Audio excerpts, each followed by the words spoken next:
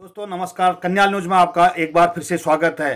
दोस्तों, आज मैं आपको अभिषेक बोरा जी, जो कि टीम संकट मोचन को लीड कर रहे हैं और लगातार जनता की सेवा में लगे हुए हैं, साथ ही जनता को आखिर हम कोरोना महामारी से कैसे निजात पा सकते हैं? समस्त जनता को वह लगातार सेवा और संबोधित कर रहे हैं। घर से कोई ना कोई बाज़ार आ रहा है।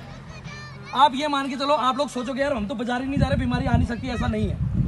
लोग बाज़ार जा रहे हैं, किसी ना किसी चीज़ को टच कर रहे हैं, कहीं दूध देने जा रहे होंगे या कुछ कुछ भी चीज़। है तो वो सबसे ज़्यादा आप लोगों ने ख्याल रखना है, कोई भी बाज़ार से घर के अंदर एंटर कर रहा है, उससे बोलना है, पहले कपड़े आपने बाहर ही रखने हैं, नहाना है, पूरा साफ़ सुथरा होना है, तब अंदर आना है। क्योंकि ये बीमारी ही ऐसी है, एक से दूसरे को फैली है, दूसरे से तीसरे को फैली है।